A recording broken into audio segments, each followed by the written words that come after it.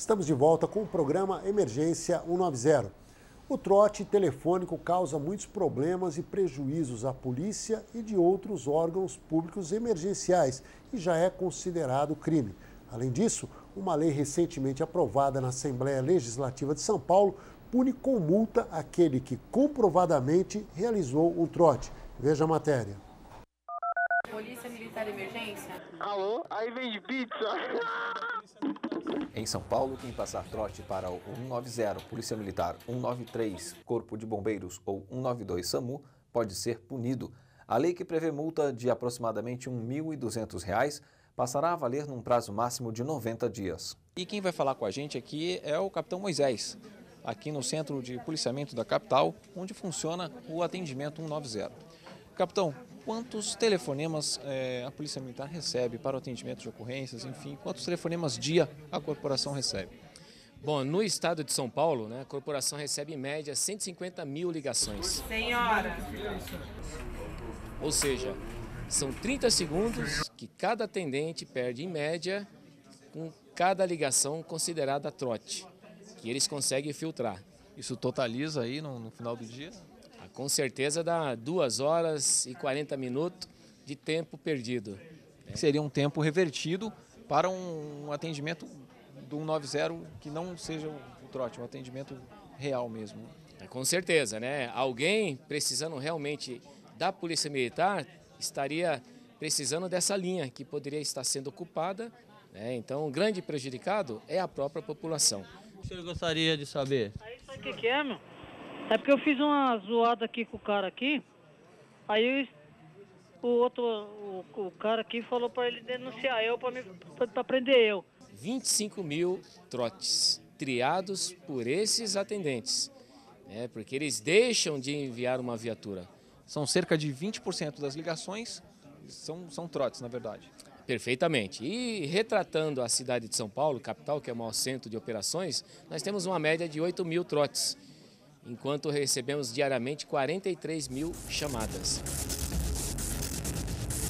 O horário mais crítico de ligações trote no telefone 190 é o meio-dia e no final da tarde, horário em que os alunos deixam as escolas. Muitos trotes chegam aqui na central de operações da Polícia Militar diariamente. Aqueles que mais vão atrapalhar o serviço são os originados por pessoas adultas. Estes, mais difíceis de serem identificados, acabarão gerando despacho, ou seja, alguém aqui vai encaminhar uma viatura para o atendimento de uma ocorrência que na verdade não existe. O que ocorre é que isso pode atrasar o atendimento de outras ocorrências que de fato estão acontecendo. É um Charlie 4 entre casal. O assunto em pauta desta semana na Assembleia Legislativa foi a criação de uma lei que prevê multas para quem passar trote para os telefones de emergência.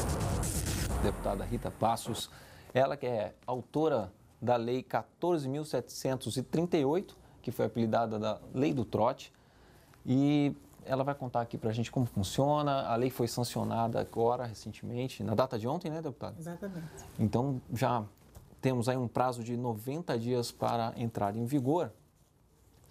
Deputada, esse, essa, essa lei ela prevê, é, ela pune aqueles que passarem trotes para serviços é, essenciais, serviços de emergência, que são o telefone 190 da Polícia Militar, o 193 e o 192, que é o SAMU. A senhora pode falar um pouquinho da, da lei para a gente e qual foi o motivo, o que levou a senhora a pensar nesse projeto de lei, que hoje já é uma lei? Exatamente. Bom, o motivo foi ver né, ao longo do, do tempo quantas é, ligações que as pessoas acabam recebendo, esses órgãos de trotes. Então, uhum. é, eu fiz na ocasião o um levantamento, é, sabendo que não é só a Polícia Militar que recebe os trotes, mas também o Corpo de Bombeiros e a SAMU. Nós fizemos um levantamento do número de, de trotes que são recebidos diariamente. E aquilo uhum. foi um número assustador, né? Na ocasião, inclusive, nós entramos em contato com o Copom, com o Corpo de Bombeiros, com a SAMU, justamente para confirmar aqueles é. dados. E a gente viu que o, é, os, é, o número é muito grande, mesmo muito alto, e nós tínhamos que fazer um projeto, naquela ocasião eu pensei assim, para que pudesse inibir esses trotes. Ah. Nós sabemos que é, esses serviços de emergência são para ajudar as pessoas que estão em situação de risco. Essenciais, né? né? Importantes. As pessoas que estão em situação difícil, precisando de ajuda. Uhum. E é, nós achamos por bem, é, a lei só é, nesse caso aí, ela só iria funcionar se colocasse a mão no bolso. A pessoa, quando coloca a mão no bolso, ela Sim, claro. se atenta mais. Nós não podemos mais deixar que é, o telefone seja um instrumento de brinquedo. E sim, e que, é, que essas linhas telefônicas desses três órgãos tão importantes que ajudam a sociedade, elas estejam disponíveis para atender exclusivamente. realmente, exclusivamente a é, chamados verdadeiros, né? Uhum. A, chamados verídicos, né? Uhum. Mas eu acho que eles não prendeu não, né, meu? Só porque eu fiz essa de, de brincadeira com ele aí, né, meu? Mas o senhor, é, o senhor falou que é de onde? Aqui do Itaim Paulista. Ah, é? E o senhor falou que é do comando? É, do comando também eu sou. Do comando de onde? De Itaquera e daqui do Itaim, da Polícia Militar. Da... Foi por isso que nós fizemos. Então, é, a previsão é uma, para quem passar o trote, é uma multa, é isso? É uma multa, é uma multa alta. É, a gente entende que se fosse uma multa baixa, ah, muitas pessoas ainda poderiam achar, bom, ainda vale o meu brinquedo. Pago, né? Vale a pena eu ainda pago. pelo, Então tem que ser alta, até porque é, nós precisamos, é, é, são serviços emergenciais e nós também temos urgência para que esta, esta lei seja é, já colocada em prática e possa inibir realmente é, essa, esses maus infratores. Né? A gente sabe que não são só crianças, são adultos também. E muitas vezes adultos fazendo voz de criança, né? Porque acho que pode sensibilizar mais a pessoa atendente que está do outro lado. E o agravante também, é, né, Tenente Davi, que é, as pessoas quando ligam lá, às vezes a pessoa verídica, né, tem que fazer um, um chamado de urgência e às vezes ela tem um minuto, ela tem uma oportunidade única de usar o telefone e pedir ajuda. E ela liga, muitas vezes está ocupado, ocupado, ocupado, ocupado, né? E quando consegue a, a, atender, né? É, o atendente vê por bem fazer uma série de perguntas e questionamentos, até para detectar dentro do telefonema se é um, um trote ou não. Então, é, de repente, a pessoa tem que ficar respondendo uma série de perguntas, né?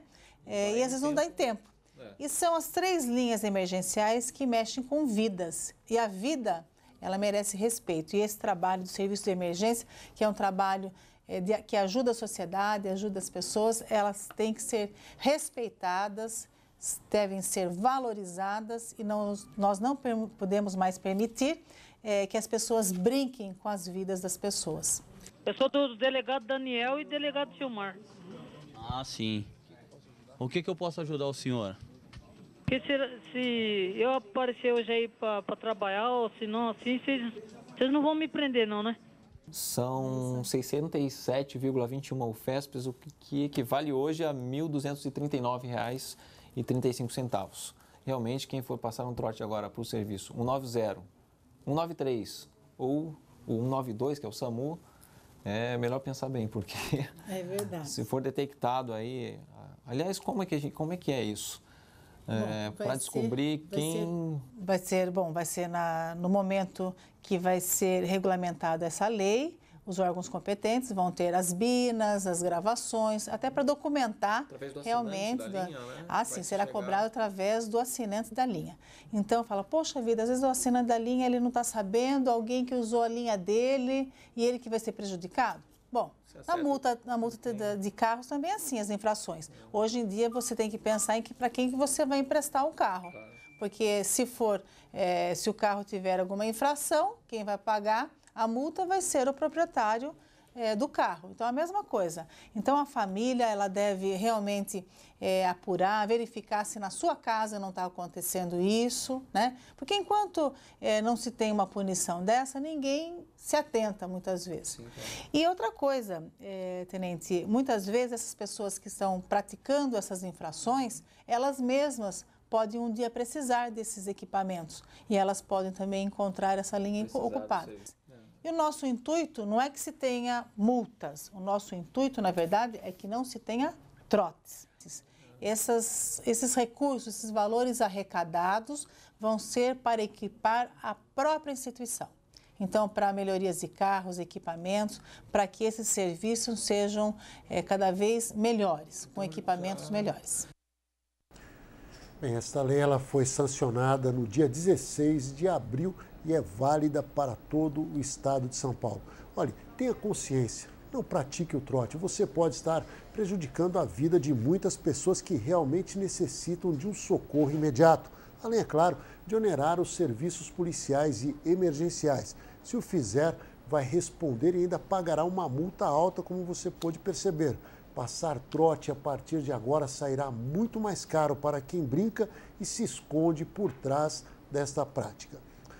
O programa Emergência 190 de hoje vai ficando por aqui, mas gostaríamos de relembrar a você os nossos telefones de emergência. Polícia Militar 190, Corpo de Bombeiros 193 e 181 é o telefone do Disque Denúncia. Muito obrigado pela sua audiência e até a próxima semana, se Deus quiser. Até lá.